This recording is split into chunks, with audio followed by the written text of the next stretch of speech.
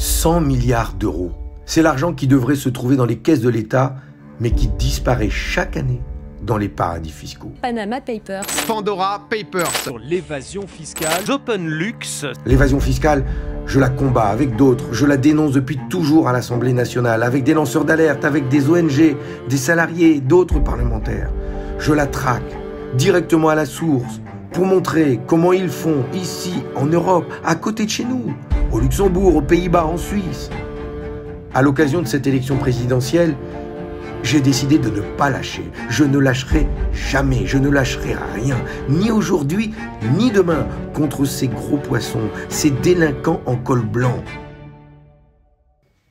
Oui, nous gagnerons ce combat si nous nous y mettons tous ensemble.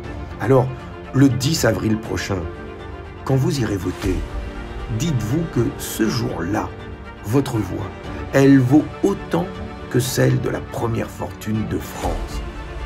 Donnez-vous de la force. Donnons-nous de la force.